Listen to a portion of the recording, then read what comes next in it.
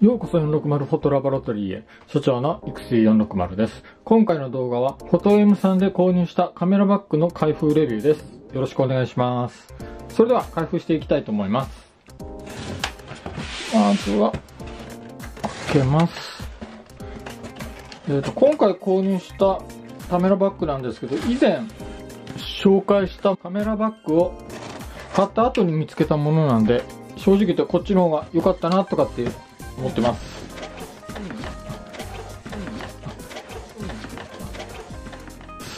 はい、こんな感じですね。結構梱包自体は雑といえば雑ですよね。今時にしてはちょっと珍しい気がします。はい、それではちょっとビニールをこんな感じですね。ビニール取ります。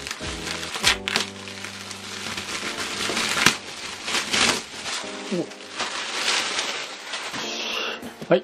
こんな感じです。ちょっとわかりますかね。こんな感じですね。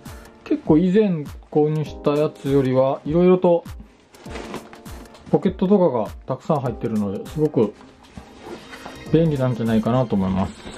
それではカメラバッグの機能の方を見ていきたいと思います。まず外観なんですけど、ここにちっちゃいポケットがついてます。あと、ここにもポケットがありまして、両サイドに、これはペットボトルの入れたりとか、ちょっとしたガラケーみたいなのになったら入るようなポケットがあります。あと、後ろの方にもポケットがあります。これはボディバッグタイプのカメラバッグなんですけど、自転車とか乗ったりとかするには、ちょうどこういうタイプの方がいいかなっていう感じです。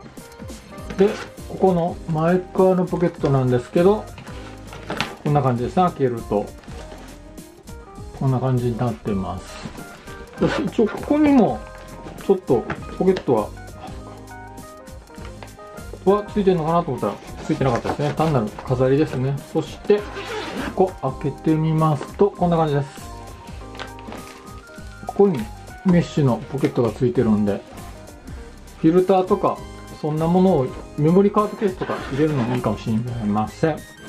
そしてメインのところを開けるとこんな感じです。これが、これは多分、防水のカバーだと思います。あと、これがストラップですね。そして、間仕切りとかがついてます。そしてですね、こちらの方からもこんな感じでポケットとこちらポケットがついていて、こちらの方にアクセスすることもできます。まあ、あんまりこういう使い方はしないでしょうけど、なかなかポケットがたくさんついてて使いやすいと思います。それではちょっと入れてみましょうか。カメラバッグは入れてみないとわかんないんで、ちょっとまず仕切りを外します。今回購入した目的というのはスナップ写真用に購入したのでちょっと試しにこれですね。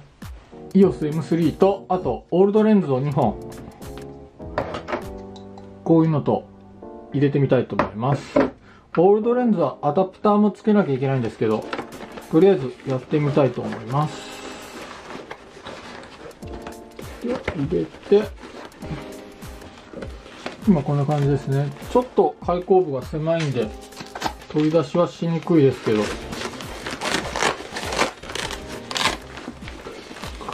入れてそれとオールドレンズを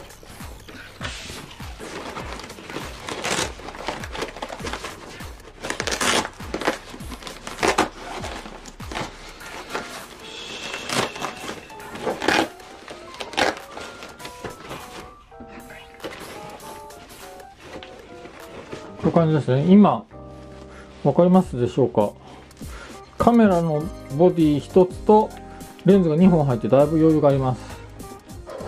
これにちょっと雑ですけど、レンズアダプターなんか入れても全然余裕ですよね。今度試しにちょっとカメラにレンズをつけた状態で入れてみたいと思います。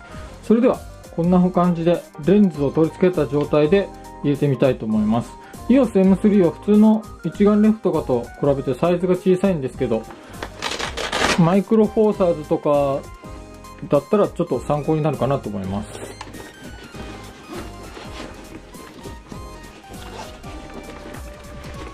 今、こんな感じで、今、こんな感じで1個入ってます。ちょっと開口部が狭いんで取り出しはしにくいですよね。あと、カメラも縦に入るようになってます。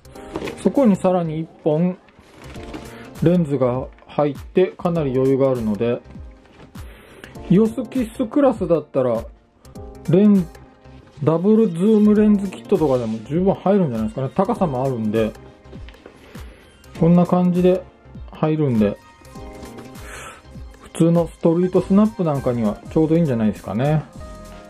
こういう感じで、あとは、ファスナーもしまっていけるんで、これで十分じゃないでしょうか。ボディバックスタイルなんで、自転車なんかで、ストリートスナップを取る人にはおすすめだと思います。ただ、ここの開口部ですよね。ここにせっかくね、ここにファスナーがあるんだったら、こういう形で、ファスナーがついてて、カパッと開いた方が、使い勝手はいいと思います。ちょっとこれだと取り出しにくいですよね。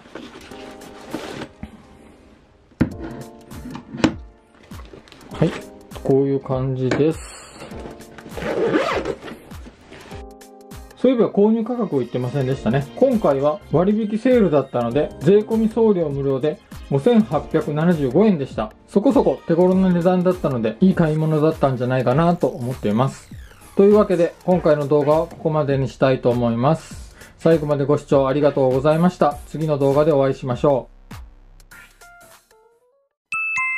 はい、おまけのコーナーです。オールドレンズではいまいち時間がわからないと思ったので、キットレンズを使ってみました。もうすでに入れてあるのでご覧ください。ちょっとやっぱりこのファスナーの使い方はちょっと使いにくいですよね。こんな感じです。今これ EOS M3 に55-200のズームレンズをつけてます。そして横のが11、22mm の超広角レンズが入ってます。こんな感じでミラーレスだったら結構余裕ですよね。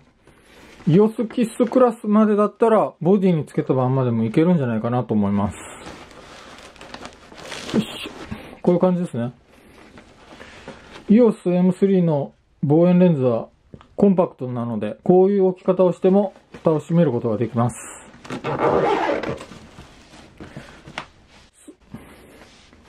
このバッグはすごくちっちゃいので、どちらかというとミラーレスの方が向いてると思います。 EOS Kiss のようなエントリークラスの APS カメラでも多分対応してると思うのですが、標準ズームとかで、標準ズームとかでないとちょっと厳しいかもしれません。望遠レンズなんかだったら入らないかもしれないですね。その辺はレンズの種類にも影響してくると思います。はい。それではこれで終わりにしたいと思います。ありがとうございました。